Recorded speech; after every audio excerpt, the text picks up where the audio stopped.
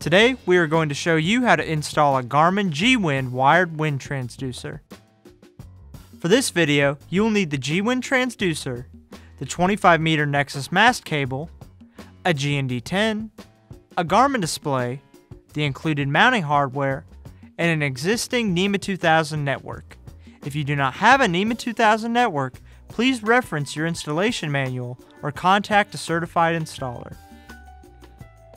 First, we are going to install the propeller. Line the socket on the propeller up with the shaft. And press until it is fully seated.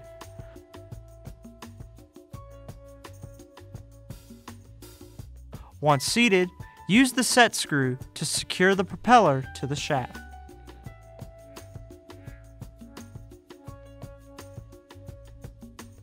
Before installation, it is recommended to connect all loose devices and spin the gWind transducer to make sure data is properly flowing over the network.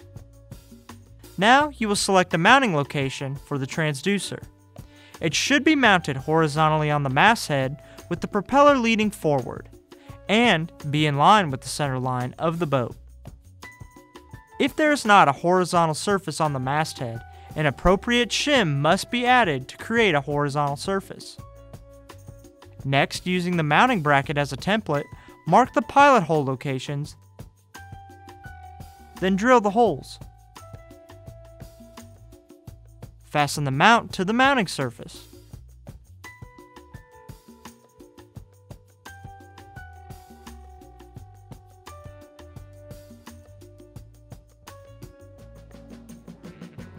Now secure the transducer in the mounting bracket.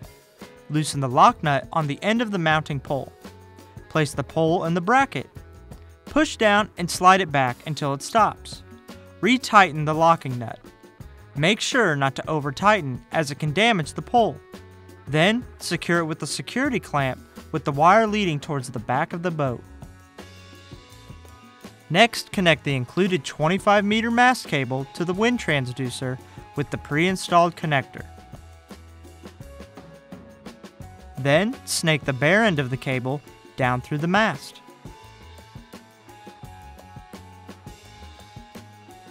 Once the cable has been run down the mast, use the Nexus Field installable connector kit to install a connector on the bare end of the wire. You may want to add an additional set of connectors at the base of your mast for easier mast removal in the future.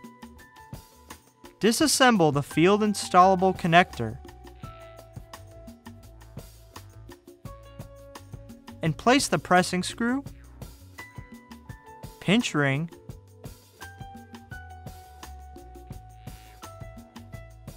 seal,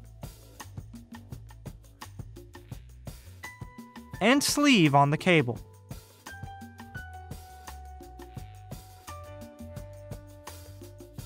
First, leaving an appropriate amount of slack, cut the bare end of the wire and remove about 5 eighths of an inch of the casing.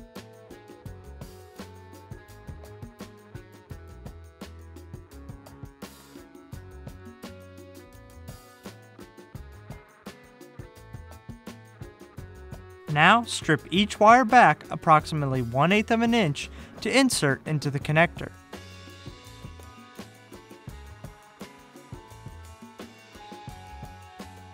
Using the screws on the back of the connector, connect each wire to the appropriate terminal.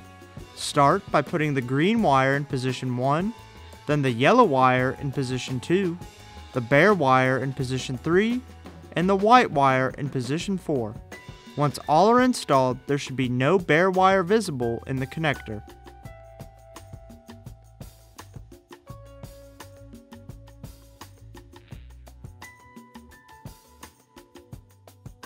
Once the wires are connected, slide the sleeve down and screw it onto the connector. Slide the seal into the sleeve and slide the pinch ring over the seal. Screw the pressing screw into the sleeve to complete the assembly of the field installable connector.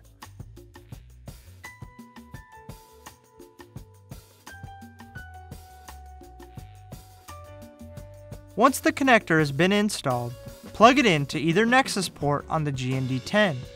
Depending on your specific boat, This connection may have to be made after the mast is put up. You will also plug the NMEA 2000 drop cable from your existing NMEA 2000 network into the NMEA 2000 port on your GND10. And that's it. For more help, visit support.garmin.com.